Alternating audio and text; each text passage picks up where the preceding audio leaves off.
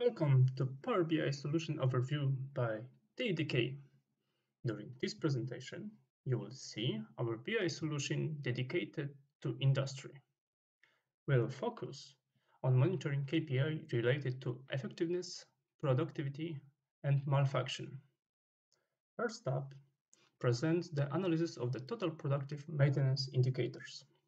By efficiency, we define the maximum use of production machines to produce high quality products. The indicator is OEE, which is overall equipment effectiveness, which is the result of availability, performance, and quality. OEE is a measure of how well a manufacturing operation is utilized compared its full potential during the periods when it's scheduled to run. It identifies the percentage of manufacturing time is truly productive. So, an OEE of 100% means that only good parts are produced as maximum speed and without any interruption. By using these slicers, we can choose factory name, specific production line, or KPI. The waterfall charts shows us increase or decrease selected KPI by year to year.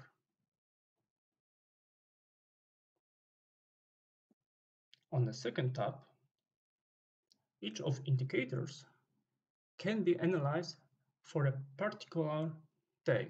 Moreover, we can go through the natural hierarchy of time, which is month, quarter, or year. By default is current month uh, selected. On the third tab, it presents us detailed analysis of productivity.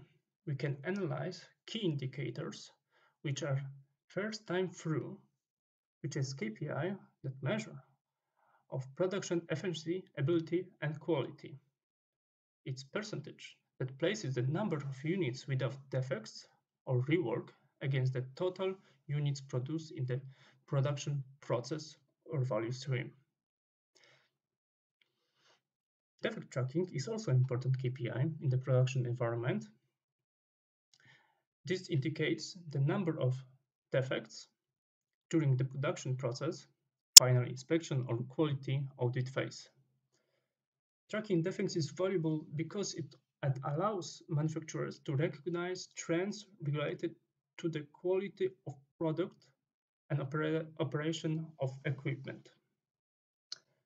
Defects per thousand units is a particular way to communicate the quality of products produced or served with some defects. Most manufacturers have the target threshold they strive to stay below. These two charts located in the center are used to visualize most recent parts production target and actual, which we can analyze to the resolution of the day. And again, we can go through the natural hierarchy of time.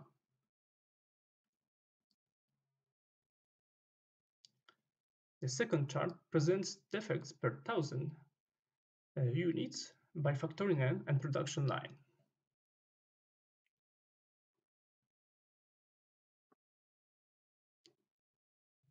Next up presents the analysis of production machines malfunction. The first chart shows us the products of are the most often affected by defects. Below, we can observe the quantity of malfunction by individual factory. In this case, we can identify six categories of malfunction, which are breakdowns, losses due to lack of equipment preparation, settings and toolings, low speed, inactivity of machines, and moreover. Knowing this information enables manufacturers to improve process, increase profitability, and calculate overall equipment effectiveness. The, this slide chart shows us the length, length of downtime in minutes each day by selected, selecting given value.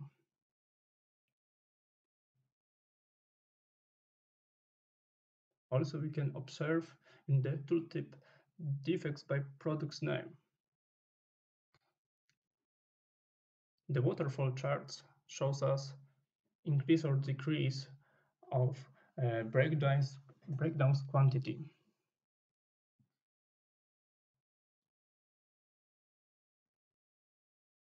Our solution introduces also an element of modern approach to analysis, which is defi defining a question by using your natural language.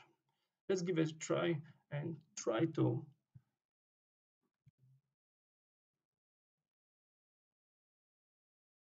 Let's check.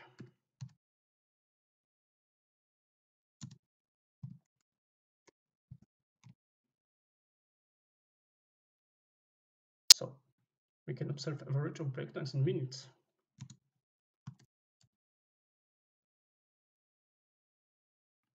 In specific factory name.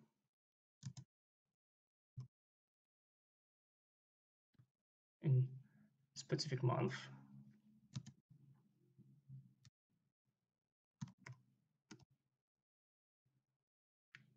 and specific chart. Thank you for watching this Power BI solution overview by TDK.